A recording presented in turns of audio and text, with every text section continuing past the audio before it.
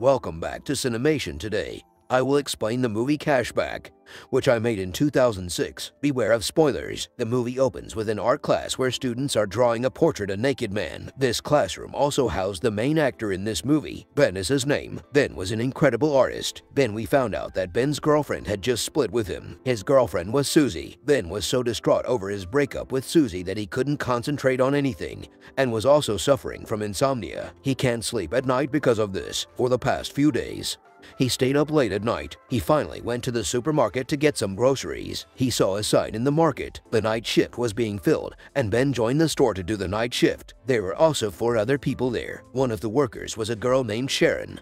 While Barry and Matt were both male, these two men were so irresponsible, they would always place adult toys in the trolleys of women customers. They would then wonder if they had ever put it in their trolley when they went to check out. Some customers would still buy it. Sharon was Sharon's first encounter, and Ben fell in love with Sharon instantly. We can also say that Sharon was a little interested in Ben. Ben was still bored when he worked alone and couldn't concentrate on his job. Because of his boredom, Ben began to imagine that he could freeze time. He could freeze all of the objects in front of him, meaning that everything would remain the same and not move one bit. He can do whatever with these things. Women are people. He was walking among them and felt attracted to their female bodies. He took off their clothes and began drawing them. He didn't just undress the woman, he also did the same with all the other ladies in the shop and created their portraits. He noticed his boss had also been frozen after he made the paintings. Ben then took his boss and placed him in front of a drop milk bottle. Then he went outside to unfreeze his time. Then we saw Ben's childhood. We discovered why he was so drawn to female bodies. He loved female bodies. We found out that their childhood home was also home to a girl. She was always completely naked when she went to her bedroom, she would do it in front Ben's bedroom. This was something Ben would always love. Then Ben shared some details about his life. He explained that he and Sean one of his best friends,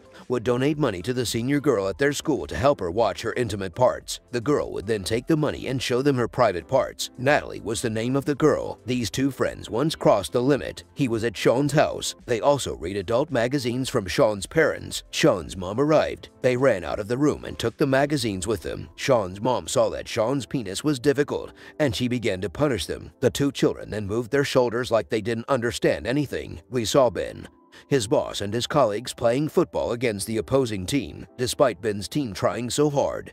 They lost every match so badly, the ball was hit by Ben's boss when a player shot it towards Ben. The ball hit Ben, and he freezes. He went to the bathroom and got a drink. He then saw another man who could move in frozen time. Ben couldn't see his face, so he ran outside. Ben realized that not everyone can move in frozen times. We saw that Ben's boss was very ill when he emerged in unfroze time. We saw that Sharon and Ben were on a date. Ben dropped Sharon off at Sharon's home after the date. Sharon then kissed Ben before she entered the home. She then entered the house. We saw Matt and Barry on the other side. A hot girl stood in front of the cash register. The girl purchased an adult toy by herself and then they reacted as if she had bought it for them. We found out that Ben's boss had planned a party for him on his birthday to forget about the loss. He invited his entire staff as well as some of his personal guests. Sharon then asked Ben to be her date at the party. Ben agreed, as this is an opportunity for every man that a girl asks him to be her date. The other side, Barry, Ben's friend and Matt called Ben to inform him that he was the owner of an art gallery. They made an appointment for him and asked him to bring all his paintings to the office. Before entering the party,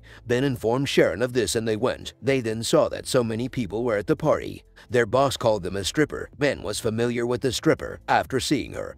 Ben became a little concerned. Natalie was her name. This was the same girl Sean and Ben gave money to to see her privates. Ben's ex-girlfriend was also present at the party. Susie was her name. She broke up with Ben shortly before the movie began. Susie was Ben's girlfriend. That's why Susie was invited to the party. Susie apologized to Ben for their past and the wrong she did to him. Susie then kissed Ben. Ben couldn't comprehend what was happening. He pushed Sharon away because he didn't understand what was going on. Sharon wanted to dance with Ben. Sharon noticed that Susie Susie was kissing Ben and became mad at him. Ben saw Sharon leave the party and he froze. He couldn't reverse time. He froze because of that. He unfroze the time once more. Sharon then left the party. Ben visited Sharon's house the next night to express his regret. Sharon became so Matt at Ben that she shouted at her so much and told him to go and close the door. Ben returned to the store the next day and saw Sharon's chair empty. This meant Sharon had left her job due to Ben. Ben was so anxious about this that he decided to go to the art gallery. After Ben had gone to the gallery, mad and Barry pranked him with a call from the art gallery, but he believed it was real and went to the gallery. The owner then asked him why he invited him. However,